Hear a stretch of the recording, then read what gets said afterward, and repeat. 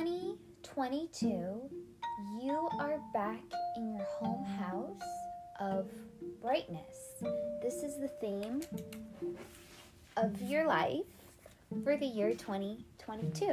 Wherever Nine Fire shows up in your Nine Ki number sequence, this is where that the predictions will manifest. So, like I said, this position corresponds to noon or midday, and it's the point of extreme brightness. So, if you think about the time of day where there's the most sunlight, it's noon. That's where the sun is the highest in the sky, and thus creating the highest energy, the highest atmospheric energy. So there's a lot of activity going on. Things are moving, things are awake, people, creatures are awake. Life is at full force. And it's generally a good year for you. However, it is important to guard against extremes that could lead to difficulties. I've mentioned before in different Nine Star Ki videos that Nine Fire, the sign, and Nine Fire, the house, are probably the most lucky and free energies and placements because, like I said, the energy is the highest, it's the most bright. But you do have to be careful not to get carried away because while it is the brightest, while it is the most activity, the most free, it's also the most chaotic. So, to be able to receive all of the luck, all of the blessings that come with the nine fire energy, be careful that you don't mess things up by going to the extreme and getting lost in the chaos and maybe having some kind of accident. You don't want that. When your number moves into this position, you may receive good news, and that could be that could be any kind of good news. Um, wherever the nine fire number is in your plate in your ninth nine star ki hat. Oh my gosh, nine star ki number sequence. If it's the first main number, it might be like huge good news that affects your whole life. If if you have nine fire as your second number or the number that corresponds to your emotions, your mental state, your communication style, the good news may be something that deals with those aspects of your life. If the nine fire energy is your third number or your rising sign equivalent, this could be good news regarding something more tangible, a physical manifestation. It is generally an active time in which your relationships with others are positive and you are able to do what you want to do. Like I said, this is probably the most lucky placement. So, whatever you want to do this year, you can probably do it. If you want to collaborate with somebody, if you want to build a connection with somebody, more likely things are on your side. Everything is working in your favor this year. However, in order to be successful, it is important to act from a firm base. Like I said, Nine Fire is the most lucky, but it's also the most chaotic. If you just think about the nature of fire, fire is not a solid. It's a ga- it's not even a gas, it's a plasma. It jumps, it leaps into the air and it becomes just heat. So, and it needs something solid to burn off of. Fire is not just fire out of nowhere, it comes from something. So, in order to have the most success, you know, random jumping flames isn't the best bet. Better to have something solid, maybe like a plan that you've been working on, some some thought process, some evidence, something to base your choices, base your next moves on. Random shots in the dark are probably not the best. you need something solid to burn from. You need something to fuel your flame, to keep it going. Um, you may have many new ideas but need to be clear and orderly when carrying them out. Once again, don't be chaotic. Don't just take a whole bunch of risks without any planning. So, if anything, be clear. Make a little plan. Take take half an hour at least. Write out your goal. What do you want to do? And make a little bit of a plan. At least that. At least that. Try to avoid being wishy washy or chaotic. Exactly. Fire people, this is you. This is your natural element. Because you are a flame, because mm. you're not something tangible, you're just bright and burning, but you burn very quickly. And you can get carried away and burn a whole forest down when you only meant to roast a marshmallow. so that's why it's important, like I said, to pause and think a little bit, have a little bit of a plan, have think a little bit more into the future, be a little bit practical. Be careful of your blood pressure, nervous and circulatory condition, and infectious diseases. So, your blood is related to is related to the water energy and water energy controls fire energy. If you look at the five transformations of energy, you can see that fire energy is at the top of the circle and water energy is at the bottom. And you can see that there's a line with an arrow that goes from water energy to fire energy. And that shows the ko cycle or the controlling cycle. And it represents the fact that water controls fire. If you throw water on top of a fire, the fire will die. You can't light water on fire, it just doesn't work. That's not how you can make fire. So, that's why it's important that you take care of yourself, you make sure you have a good blood quality, you're eating enough mineral rich foods, you're not depleting yourself, making your blood quality more acidic, more suited for disease and virus. And also, high blood pressure usually is accompanied by stress and heart issues.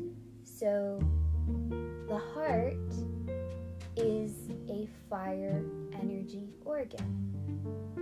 What can you do to help your heart? What foods should you avoid so that you don't have any heart problems in your nine fire year, in your nine fire house as a nine fire person? Avoid animal food and and eat more bitter foods. Foods like arugula, dandelion greens, mustard greens. have more garbanzo beans, have more lighter energy kind of foods, more plant based. And what is one of the number one killers in America? Heart disease. And what diet is best for people at risk for heart disease? A plant based diet. So if you haven't already dabbled into plant based eating, this is a great year to do so. And also talking about cutting down on stress. Even though you might feel really excited and really happy about all of this luck, all of this fame, all of this attention, all of this recognition you're getting, all of your projects moving, forward, please still take time to rest, meditate, go to bed on time, wake up early in the morning, take naps if you need to. This will help also cut down on your blood pressure and help alleviate some nervous issues you may be having. And yes, your circulatory condition, once again, is connected to your, your blood pressure. Um, what you can do besides what I already mentioned for your circulatory condition is exercise. The best forms of exercise for fire energy is anything that has a rhythm. So, like walking, dancing, doing some kind of repetition on a rhythm is very good because your heart beats at a rhythm. And once again, the heart is the fire. The heart and the small intestine are fire energy organs. And the infectious diseases, once again, if you take care of your blood quality, you eat mineral rich foods, you avoid foods that create an acidic environment within your blood, most likely you won't have any issue. But we are coming out of this global pandemic. The past two years, we've been in metal energy years, which the organ correlated with metal energy are the lungs. The coronavirus was a respiratory virus that affected mainly the lungs and the respiratory system. We are now moving into a five soil year, so we are moving away from that threat. But still, like I said, take care of yourself and be mindful of your health and your immune system and really prioritize that this year. Be cautious around fire. Oh, yes, because. Oh, something I was going to say actually, Nine Fire Friends.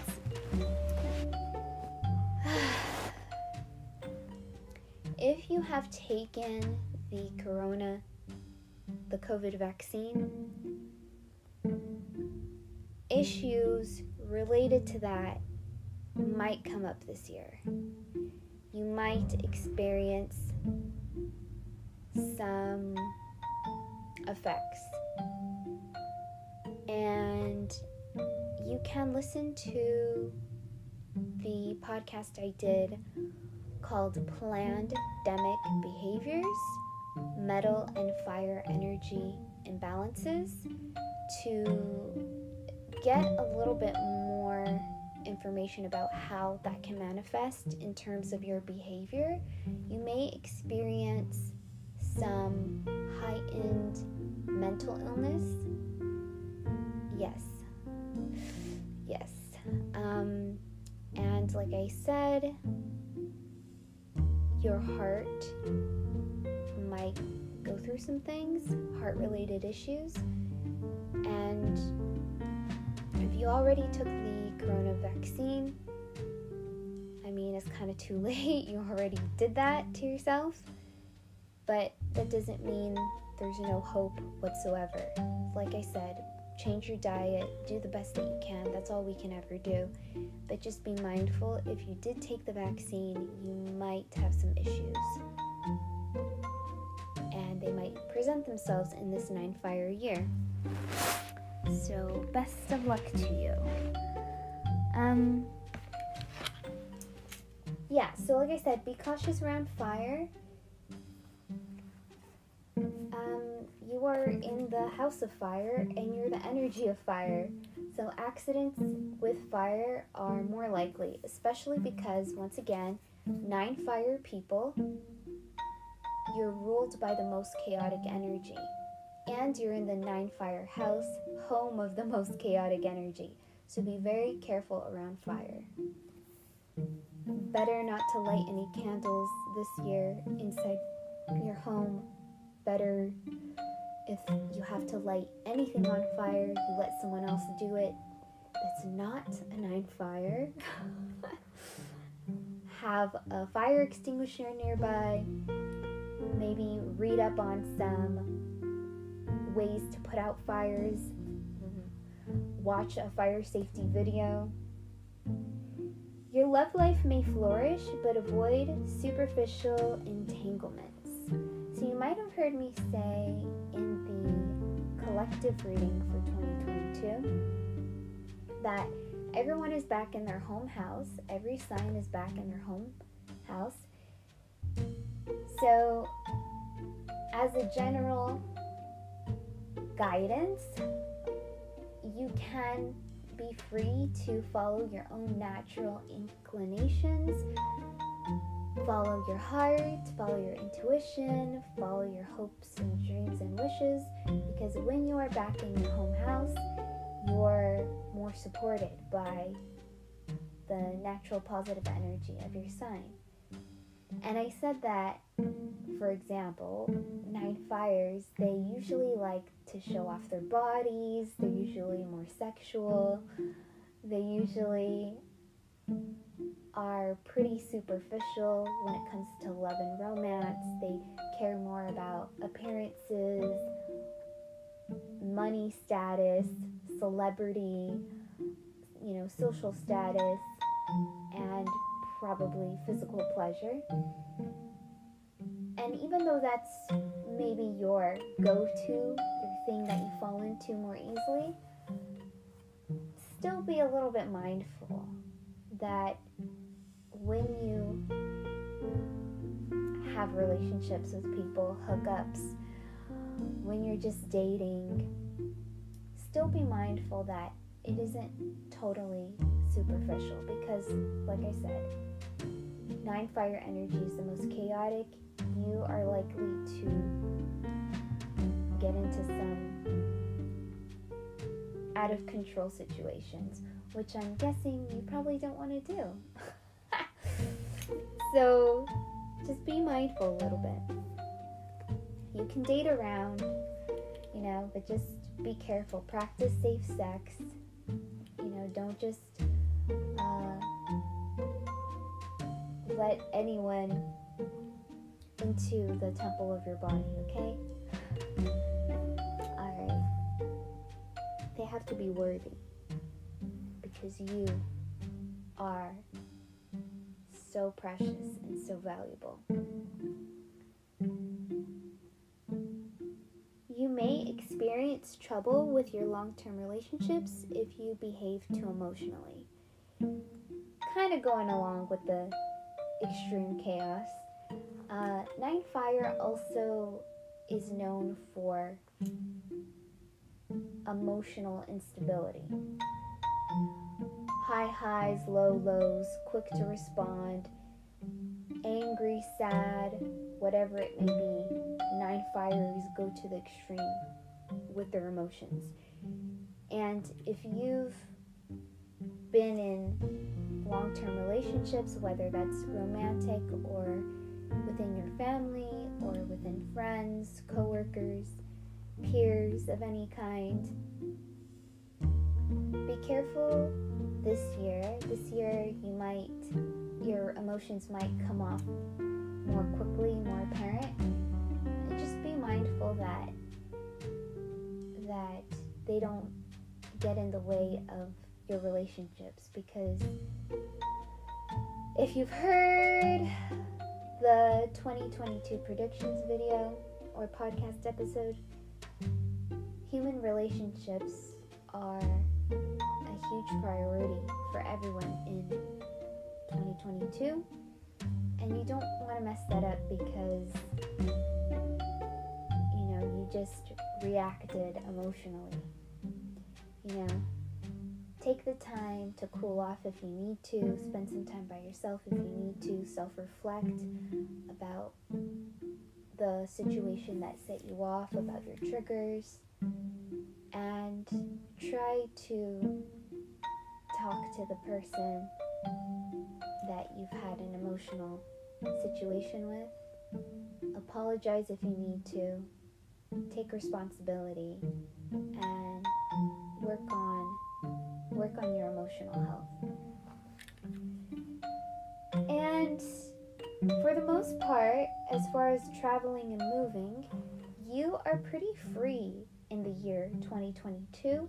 Like I said in the collective predictions video, it's generally not the best year for anybody to travel or to move, but you nine fire people are more free simply because if you look at the magic square graphic that has all the different circles, and some of them are more white, some of them have some darkness, you can see that in the nine fire house, the circle is mostly white. There's a little bit of darkness, but it's mostly white. So it's showing that you have more freedom, more space to move.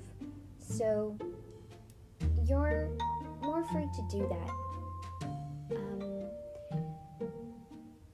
The only suggestion I would say is that I would really recommend not traveling in your own direction of the south or the opposite direction of the north. And if you would like to learn more about this, this is called directionology. And I also give some tips about how to handle traveling or moving in a more safe way in a previous podcast episode. So I'll link that down below if you would like to check it out. And I hope that you have a great 2022 year.